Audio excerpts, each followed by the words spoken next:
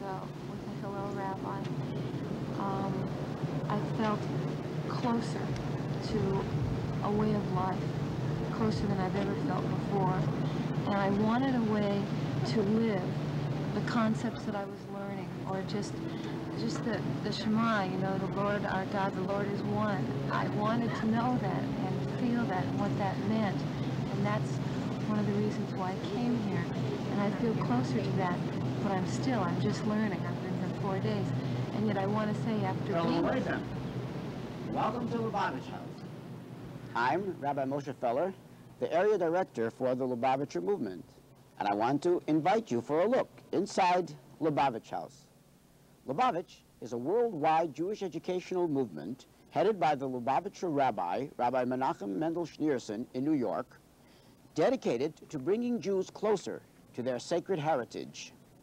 You might know us from our mitzvah campaigns, the sukkahs that we put out uh, all over the city, our sukkah mobile, the Purim kits that come into your home, the matzah shmura that we distribute, the Shabbos candle kits, and our tefillin booths. Possibly you hear our weekly radio program.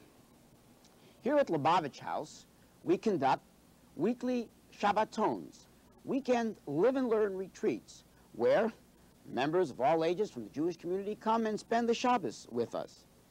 We also have classes throughout the, the year and counseling. We have a resident rabbi and rebbitzin at Lubavitch House, Rabbi and Mrs. Grossbaum. During the summer for three months and for six weeks in the winter, we conduct an intensive uh, Jewish Educational Institute for Women, the Beis Chana Women's Institute. Uh, the principal is Rabbi Manis Friedman, and the Dean of Women is my wife, Mindy. Now, we're going to take a look into the Beis Chana program here at Lubavitch House, and your host will be the principal, Rabbi Manis Friedman, who is presently in uh, discussion with the young women. That also suggests something. It suggests that the individual, before they get married, who is making whatever strides and whatever progress in their own life as a Jew, comes to a point where he feels now it's necessary, as part of his life as a Jew, to get married, meaning to take on a role within the people, within, within the community, to be a part of this continuous chain. And it's not enough to say, I experienced my own personal liberation or my own personal uh, release from exile, coming out of Egypt in my own personal way, and, and I am now in touch with the truth. So one of the indications as to whether or not the program is a success is how dedicated or how feasible is marriage to you now compared to what it was before. Before I was very out of touch with anything. It's like the thought of being married was so far off, so totally distant. I didn't know how anyone did it. And now I can really see it coming into my life. It, part of it could be because I'm growing up too. But it seems like maybe just four years away as opposed to 20 or 30 years away. And mentally also, I don't know how the difference really came about even. Since I became firm, I, I said there's no other way for me than a Hasidic way of life and marriage. That's the most important at this, at this point. Well, one of the things that attracted me was that to me that when, a person's considering getting married, um, you, the two partners will both have a common goal towards which they're going to work, and they'll work, um, they'll work within themselves, and they'll also work with, be able to work with the community to, to bring, to show other people um, a way that can make marriage a success and a way that can um, bring joy into the family and a way in which they can raise their children to um, to give them a meaning in their lives and to give meaning into every day and every time of the year. There's something lacking there. I want your reaction to what we were talking about the other night, that there has to be this belief in the importance and validity of marriage before you choose whom you're going to marry and stuff like that. What's, what's your reaction to that? I'd like to say something because, I mean, I was divorced and I got very, well, even before my divorce, there was a time, I mean, America tends to turn you off to marriage because there's a, a whole thing in our Well, I'm trying to get a reaction to this question here. Is, is the concept that we talked about the other night, is that an acceptable or understandable thing to you? Yes. That there has to be this commitment to the institution of marriage based on the fact that it's the lifestyle that God chooses for us or has chosen for us, and that that is probably the crucial foundation upon which a marriage is going to be built. Can you relate to that? Hmm? Yes. Let me Yeah, get your reaction. Relate to, that because otherwise it would be unnecessary to marry. You know, you could uh, shack up here or shack up there, and if it didn't work out, move on to the next person. And uh, marriage uh, only really seems to make sense in a kind of overall social context. You know, in terms of raising children and people staying together for a, a long enough period of time to raise children and to set them into a proper their proper place in, in the society. Get, getting back to the other question that you were asking, uh, there are two things that I was thinking about. One is that before I got involved in this, I mean, it was sort of obvious to me that that the the uh, the Jewish way of life seemed to be dying out. But I would say to myself, well, so what? What difference does it make? I mean, the Hottentots uh, die out, and the you know so forth and so on. It's historical progression, and uh, it's unimportant or something like that. And I sort of I think that the reason I had that attitude is that I had no idea what really was involved in a Jewish way of life or what it meant to be a Jew. The discussion is one of the many forms of communication. Uh, we thought that it might be interesting to get some individual reactions to some of the things that we study and discuss here at Beis Chana. We'll be talking to some of the girls individually, starting with Fegi Silberman from South Africa. Fegi, what do you think of the discussion we had and the uh, role of marriage in your life? Well, that's the whole thing that um, the marriage life in Judaism appealed to me to become involved. And um, when I saw the families, how together they were, and um, how tolerant they were of each other and kind to each other, and the children were always together, it just appealed to me. And I thought I must find out more about it. And what did you find out? Um, well, I found when I came to America that, um, that uh, by having uh, a, the Torah as a guideline, um, you had certain commandments to fulfill, which um, gave you a purpose to your life. And learning Hasidus um, put a lot of warmth into it and love. And with that, the husband and, and the wife seem to have an understanding of each other and were tolerant of each other. They seem to have guidelines. And um, How long have you been here? I've been here six months. And on the things you learned, how would you sum it all up? The teachings of Hasidus.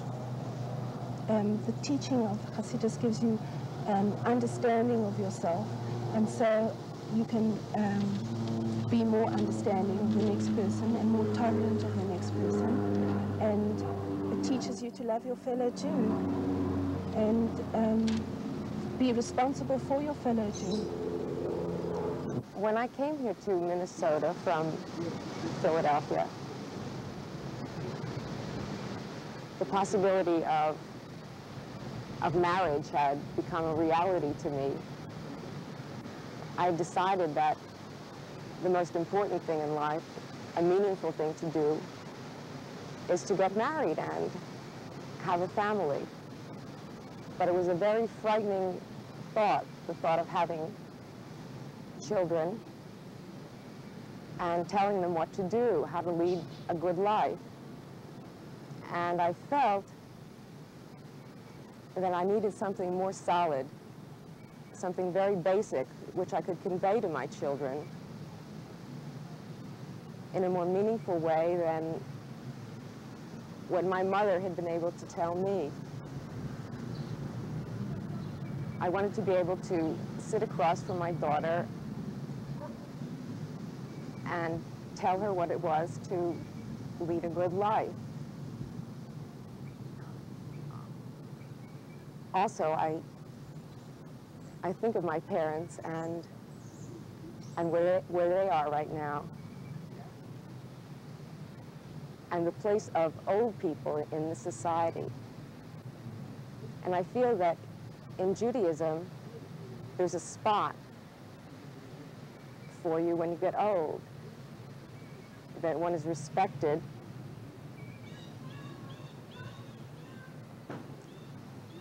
and honored at, at, uh, at that time. And thinking about what to tell your children or what to be able to say to your daughter across the table, what made you think that Judaism had anything to offer in that area?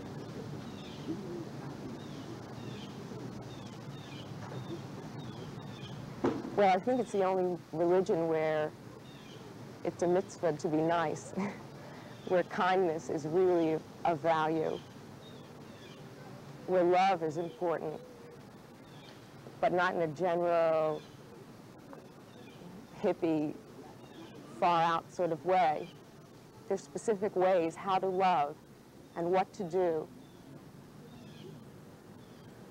When you're a Jew, when you're an observant Jew, it's a mitzvah to visit the sick. It's not simply a nice thing to do, and if you have time, maybe you'll go to the hospital. If someone's sick, you must go and visit them. And the rewards over and above the smile from the person in the hospital bed. Uh, I would say that I've reordered my priorities, that I've shifted around what I thought was most important to me and been able to face some things that I, that I really truly wanted that I couldn't admit to myself were what I wanted. And that I, I believe I'm approaching uh, an idea of how to go about attaining my goals and how to set for myself the, the highest possible goals, uh, a kind of a, a structure that I can live within to move towards a meaningful feeling of, about my life. So uh, what, what will the first thing be that you're going to do when you get back home?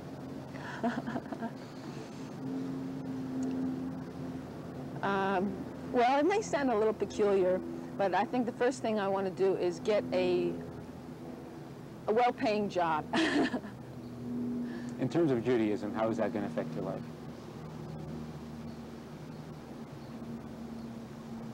Can you take any job you want, or are you limited in the fields of, of the work that you're going to be able to do? Well, I'm li only limited in the sense that I won't work on Shabbos.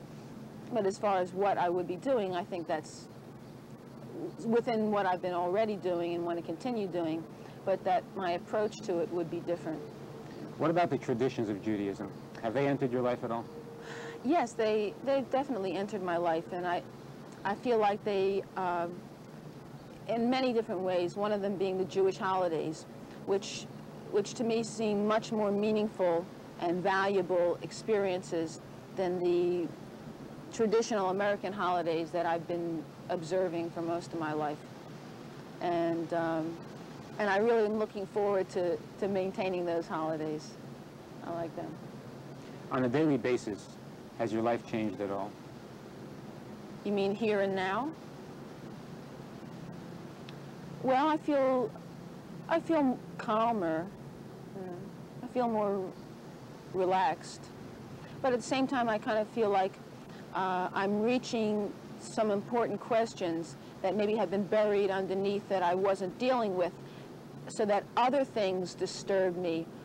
And I wasn't recognizing that it was the, the deeper questions that were at the root of it, you know, and that maybe these questions are coming out in the open now and that some of them I've already, uh, I believe, come to a reasonable conclusion on and that others I'm still grappling with, but it's still, it's better than, than not recognizing that those were the things that were really bothering me. I came here because since seven years old, I've always wanted to be a social worker. Just recently, I've gotten involved in the studies of Judaism, and I learned that the Jewish community is dying out. And one way that I wanted to revive some of the old traditions and make a contribution of myself and from what I've learned about social work and Judaism is to be a social worker in the Jewish community And one of the ways I wanted to really know what the Shema meant was to come here to the Lubavitch House. I'm very attracted to uh, the philosophy and the people here are wonderful. It's a community where we all share a religious experience. Everyone is accepted for who they are and for who they are not. We are encouraged and challenged on our beliefs. Like if you don't agree with one of the rabbis, you know, you get into a really incredible discussion and you find out so much more of, of who you are, where you're coming from, and, and where you're going, and what your relationship is to yourself and also to other Jews and throughout the history. Um, how do you see this? How do you see this experience helping you in your social work? Um, I find that I learn more about the people who I'm with, where I'm coming from, how to relate better to people um, who I've never even met before that, are, that have all different backgrounds. And in social work, I'm going to learn and have to do that. My listening skills have improved. Um, I learned to perceive a situation and find out where people are without making judgments, which is one of the hardest things to do. Uh, How does the uh, tradition or the ritual fit in? For the tradition and the ritual for me, I wanted to find a way of life that I could live that which I believe or that which I've read about. And I find that this is the way to do that. And coupled with social work, I can be what I would call living out my religion as well as helping my, myself and helping others to be who they are and happier with themselves and to live a good life. And I think that uh, the family and living a good life is what it's all about. Uh, in your own opinion, what is it about the Lubavitcher movement or the Hasidim that attract the young people? Well, I think uh, that the Lubavitcher Hasidim is, um, if I can define it in this uh, way, it's, uh, it's, it's a revolution, really because um, it it um, it shows it's um, the nice part of the religion.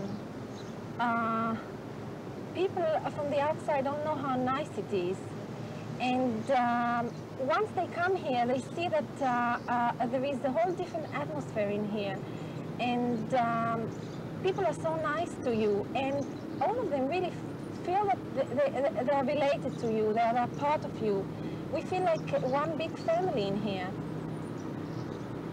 The philosophy or the teachings of Hasidus, uh, do you find that it, you have to live in a certain place and have a certain kind of a lifestyle in order to be able to benefit from it? Um, I don't think so because um, I, I think that you can even do it uh, um, on your own without being uh, all together. Like if you live in another place, I think you can do it uh, if, uh, if you want to, definitely. What would you say to people back home when you get back home uh, that, uh, that they could appreciate? Well, um, I have so much to say, really because I, I, would say to people to come and try if they can, because um, um, I'm sure that many people have a negative idea. Like, I came from all that way, you know, I, I came from far away, and I came from another country, different culture, and yet, being here with so many different people, I found my way, and uh, I really feel, I really feel different. let's go to a classroom scene and find out what it is that the girls are studying about and learning in the formal study sessions. A mezuzah is a written scroll which is placed on a doorpost, on a doorpost to every entrance to the house, to every room in the house except for bathrooms and closets, small closets. A mezuzah, what is known as a mezuzah, is something which is written by a scribe in a certain kind of, a special kind of an ink, and it has the two parshas of Shema Yisrael written on it. And if it doesn't have those parshas, and if it's not written by hand, and if it's not on a scroll, prepared in the proper way, then it's not a mezuzah. It's just a plain piece of paper. What's that letter sometimes you see on the outside?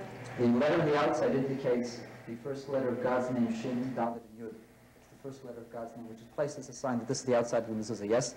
If you move into a new apartment and uh, you see it's painted over, is that kosher mezuzah? Provided it's not too deep, but you should check it anyway because perhaps with age it's worn away. A mezuzah has to be checked twice in seven years, by the way. And, and just because you put it on doesn't necessarily mean it's kosher. Yes? Where do you go to check You have to go to a scribe who is clear in what the mezuzah is supposed to look like in the letters. Remember, the letters of the mezuzah have to be written perfectly. There can't be any letters missing, or any letters split, or, or any words missing. And if any such thing does happen, then the mezuzah is non-kosher, yes? Can anyone put a mezuzah on their door? Can you just walk, if you want to put a mezuzah up, can you just walk by one and You have to play? buy one, you have to know how to roll it up. You roll it up from the left side into it toward the right side with, on, on the, uh, with the lettering on top, on the top of the mezuzah. Place it on the right-hand side of your doorpost as you enter, and it should be in the top third of the doorpost, of the doorway. And it should be leaning slightly inward. Can And anybody can do it, yes. Tape it on, or does it have to It should be put on with something which will will last for a long time. Tape is also good, I imagine, but it's better to put it in with nails. Suppose you're only going to be like in an apartment for a little while, How, how long is a little while? a year. A year you have to have mezuzah. 30 Oh, days, 30 days delineates what is considered a permanent residence. I mean, as far as permanently fixing it. Well, you should, you should put it on if you're going to be there for a year's time. If you're going to be there for 30 days' time, you should put it on. After 30, I mean, if you're going to be there longer than 30 days, after 30 days, you have to put it on, yes? Does the mezuzah have to be a certain size? No. Mezuzah, as long as it's written properly, with the letters written the proper way, in the proper order, then there's no size to the mezuzah. By the way, there is nothing in the mitzvah which requires that you have to have a case. A case is completely extraneous to the mitzvah. You should wrap it around with something, but what you wrap it around with is completely additional. The most important thing is the mezuzah itself. The casing, regardless of whether it's made out of solid gold, is not a mezuzah unless it has the scroll written properly inside. Many people don't know that, and they just buy a casing with even a postage stamp on the inside. Where can you get proper mezuzahs from? You have to go to a scribe or a bookstore, bookstore that sells the mezuzah and have the, the mezuzah checked by another scribe. Yes? Oh, you just answered my question. I was going to ask how you know it's How do you know how often to, uh, to check The minimum is twice in seven years. So once every three, three and a half years. So who do you have to ask? You have to go to a scribe who is well, who knows the laws of mezuzah and who can correct mezuzah if it can be corrected. Ye- Yes? Is there any special ritual when you put it on? When you put it on, you say bracha, blessing, before you fix it. And you're supposed to fix it, by the way, from the top and the bottom. In other words, you're not supposed to let it hang. You have to put it from the top and the bottom and, and attach it there. Yes? What is the bracha? The bracha asher asher kidshanu b'mitzvos v'tzivanu likboa mezuzah. What does it mean? Who has sanctified us and commanded us to set in our doorpost the mezuzah. Why do you, why not have bathrooms and closets? What? Why not have bathrooms and closets? The bathroom is not a, a uh, place of honor and therefore need not have a mezuzah. It's only your house which is an honorable place, but that which is not an honor, for instance, a tannery or a bathhouse also need not have a mezuzah. Yes? Well, why do we have to have mezuzahs at all? Well, because the Torah says specifically, you shall write them on your doorposts. We're over at the studio now, and before we go on with our program, I'd like to mention that uh, this Sunday we will conclude three months of study of our summer session at Beis Chana, and that our next session will begin during the winter break, which this year starts on December 9th. Uh, for more information and for registration for this program, there's a number you can call at Lubavitch House, 698-3858. Uh, you can call now or sometime during the day tomorrow. I have with me here one of the younger members of our institute. Her name is Rachel Ross, and she's from Carmel, California. We didn't get a chance to talk about the backgrounds of the older girls. We were busy talking about marriage. But we'd like to get a little more information about uh, Rachel and uh, why she's here. Can you give us a little bit about uh, what involvement you had with Judaism before you came here? Well, when we moved to California about four years ago, um, through some friends of my grandfather, we met some people who live in the town where we were moving, and they were Jewish. And they had a friend who knew a little bit about Judaism and wanted to start a class. So we had a class once a week, and we just learned a little bit. And through this woman, um, I felt like I wanted to learn more, and I wanted to learn how to read Hebrew. So I went to um, a religious school at a Reform congregation in the next town to where I live, and I learned how to read Hebrew, and I became very involved in the congregation, and also in several youth movements. And um, I felt like it wasn't enough, and I was becoming more and more religious. And I had friends in different parts of Northern California who were also in the youth movements, who were also becoming religious. And like, whenever we'd find out a new law, we'd go and tell it to the other person, and sort of pieced everything together. And where would you pick up this little piece of information? Uh, from someone else, or maybe if we saw a rabbi somewhere, or read a book, whatever. Well, being so involved with Jewish life and even with, with observance, why did you feel that you wanted to come here? I wanted to, I had a summer free. I wanted to come somewhere to study more, to learn more. And I also felt like uh, everything, all just the laws, were kind of dry, and I wanted to learn the philosophical side to it. I knew there had to be more than just the straight law. And I had a little contact with Lubavitch, and I liked what it was doing. So I came here. How old are you, Rachel? 16. And you're in what year of high school? I'm going into 12th grade. Okay, we've got a lot of teenagers possibly listening to us right now. If there was anything, if you had a moment where you could uh, say something to your fellow teenagers, uh, how would you how would you say it? What would you say to them? Well, I think that it's a big advantage for a person to start learning about mitzvahs and Torah when they're very young. And because then when you get to the point in your life when you want to decide, do I want to be religious or not, you know what there is to decide. And if you don't know anything about Judaism, you can't really decide since you have no basis. So if you haven't had this basis before, I think you should start learning right now and uh, study Torah. And uh, I also, I really wish that my little brother would start learning now before he gets any older, the way we do here. Talking about starting young, uh, the Lubavitcher movement has been involved in the revival of a custom uh, in which little girls are urged to light Shabbos and Yom Tov candles of their own.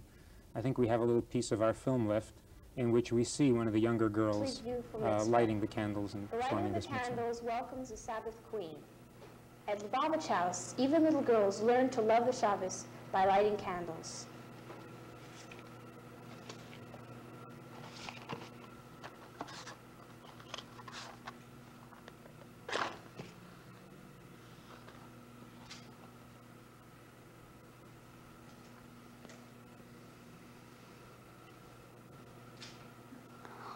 שאתה, פנה אלוהינו המלך העולם, אשר קידשנו במצחי ובציוונו להדליק נר שעה שעה בקודש.